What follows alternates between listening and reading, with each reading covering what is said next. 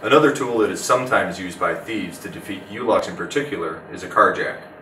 This is the ABUS pulling test machine where we test for pulling forces. Let's see how the Granite X Plus 540 performs. Close to 4,500 kilograms of force and the lock is still pulling.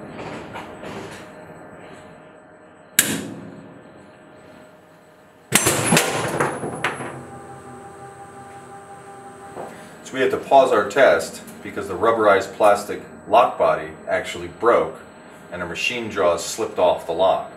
In the real world, this can actually be a huge advantage to defeat a pulling attack. So let's put the machine back to work and see how much force the Granite X Plus 540 can take. You can see our U-lock shackle is starting to stretch our steel is able to resist even more force, now past 5,000 kilograms.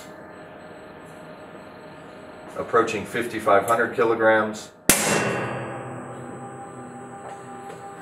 The Granite X Plus 540 U-Lock resisted more than 5,500 kilograms of force. We basically lifted up a semi.